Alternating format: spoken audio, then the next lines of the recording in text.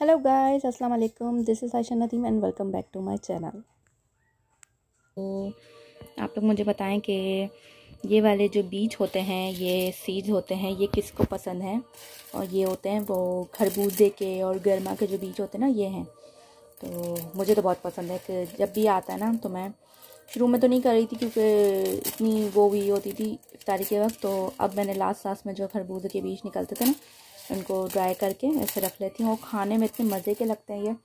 तो मैंने पहले भी जो है ना करके रखे थे, उसमें थैली में अब दिखे इतने से ही बचे।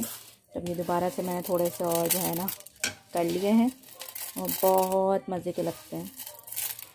तो आप लोग बताएँ, अगर आप लोग को पसंद है तो कमेंट करके बताएँ। और आज जो है ना खाने में बन रही है ये दाल।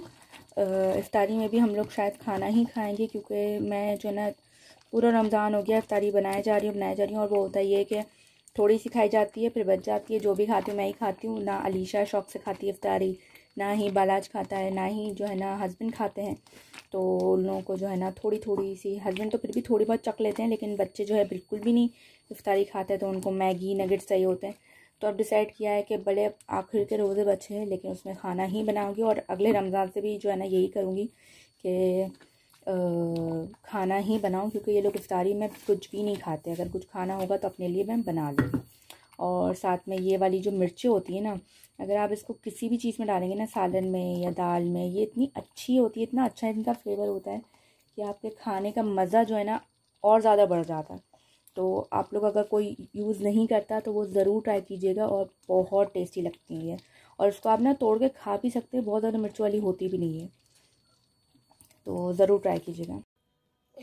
ये देखें, इस शरारती लड़के को देख सकते हैं आप कि क्या कर रहा है ये। इसने ये ब्रश इसलिए लिया है क्योंकि मैं जो है ना अभी, ये खिड़की जो है ना, बहुत ज़्यादा गंदी हो रही थी। इसकी जो किनारियाँ होती हैं ना, यहाँ पे ब्लैक ब्लैक सी काई सी आ जाती है। यहाँ पे भी ये आप देख सकते हैं, ये तो मैंने बहुत कोशिश की, फिर भी नहीं निकली। लेकिन यहाँ साइडों में जो लगी थी, वो मैंने ना अभी ब्रश से ही कर रही थी। उसमें मैंने जो बर्तन धोने का लिक्विड होता है ना डिश वॉश का लिक्विड जो होता है विम वो मैंने डाला और थोड़ा सा ज़्यादा उसमें पानी डाला और ब्रश की मदद से साफ़ कर रही थी। तो इस लड़के ने मुझे देख लिया कि मैं ये कर रही हूँ। अब जब वो ब्रश और वो गंदा मैंने रख दिया तो फिर रोना धोना शुरू कर दिया कि मुझे क्यों नहीं दिया। तो फिर से इस लड़के के लिए हमें साफ़ ब्रश निकालना ही था। तो हमने जब ब्रश निकाला तो ये ऐसे करने बैठ गया अपने मुँह पर देख लो ज़रा। है भाई, क्या कर लें ओके जी तो ये है कलर और मैं लेके आई थी गार्नियर का। आ, मैंने कुछ फोर फाइव मंथ्स पहले लेके आई थी और मैंने इसको जो है ना लगाया था तो आ, ये वाला कलर मुझे बहुत अच्छा लगता है। मैं अक्सर जो है ना ये वाला कलर लगाती हूँ और अभी भी ऐसा हो रहा है कि थोड़े से ग्रे हेयर आ गए हैं तो ये वाला कलर जो है ना मैं वापस लगाऊँगी क्योंकि अब ज़्यादा दो तीन दिन ही बचे हैं ईद में तो पहले से ही लगा लूँ ताकि बाद में जो है ना एक हबर दबर ना हो जाए। तो ये है। और इस दफ़ा मैंने सोचा है कि छोटे छोटे जो काम होते हैं ईद के कपड़े इस्त्री करना बच्चों की पजामों में लास्टिक डालना और ये सब जो है ना मैं आ, पहले से ही करके रख लूँगी। क्योंकि जो है ना एंड टाइम पे मैं हमेशा करती हूँ और बड़ी जो है ना मसले मसाइल हो जाते हैं। इस दफ़ा सोचा है कि पहले से करूँगी और फिर देखते हैं कि क्या रिज़ल्ट आता है। तो ये कलर आ गया है और अब मैं जो है ना ये कलर जो है लगाऊँगी।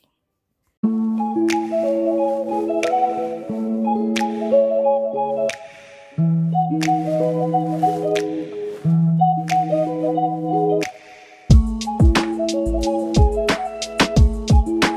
मैं आपको इसका बिफोर और आफ्टर दिखाऊँगी। आप लोग देख सकते हैं कि साइटों साइटों में कैसी धूल सी हुई हुई है।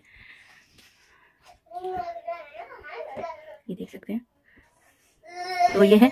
और अगर मैं कहती हूँ कि अगर घर में ही एक चीज़ है, उसी से ही अगर आपका ये साफ़ हो जाता है, और ज़्यादा कोई भी चीज़ गंदी होती है, उसको साफ़ करो वो दोबारा गंदी तो होनी ही है। तो अगर ये हमें दो तीन महीने का भी टाइम मिल जाता है कि दो तीन महीने के बाद गंदी हो रही है तो बुराई नहीं है कुछ इसको थोड़ा सा जो है ना ये ब्रश के साथ करने में। क्योंकि जब मैंने इससे पहले वाइप से भी किया हुआ है तो वाइप जो है ना इतने ज़्यादा कॉर्नर्स में जाता नहीं हो, जाना भी हो तो उसको बहुत रगड़ना पड़ता है। तो ब्रश के स्ट्रोक्स होते हैं, वो साइडों में चले जाते हैं। तो ये मुझे बहुत बेस्ट लगा है तो आप लोग भी ज़रूर ट्राई करें। अब मैं इसका आपको आफ्टर दिखाऊँगी।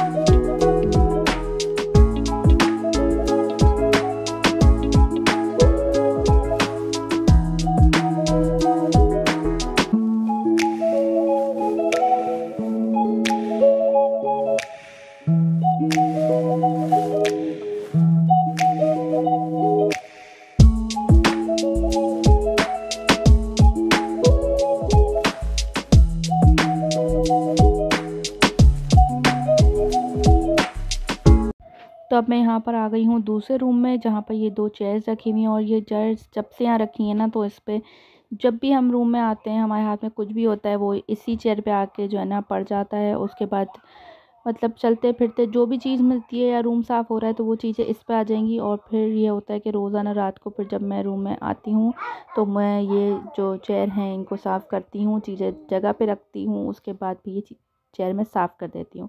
लेकिन फिर दोबारा दूसरे दिन वैसे ही हो जाता है। तो जो चीज़ अगर आपके घर में सोफ़ा है, चेयर है, मेरे घर का मैं बताऊँ, जो यूज़ में नहीं आ रही है तो वो यही होगा कि उस पर चीज़ें पड़ती जाएँगी और फिर वो साफ़ हो जाती हैं। ऐसा नहीं कि नहीं होती, साफ़ हो जाती हैं।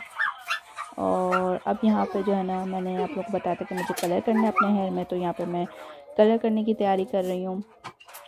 तो मैंने जो है ना लास्ट टाइम एक गलती की थी वैसे तो मैं हमेशा वैसे ही करती हूँ जैसे इस दफ़ा मैंने किया लेकिन लास्ट टाइम पता नहीं मुझे क्या हुआ मैंने जल्दी जल्दी जो है ना करना था मैंने कलर निकाला उसको मिक्स किया और फ़ौरन से जो है ना अपने हेयर पे लगा लिया।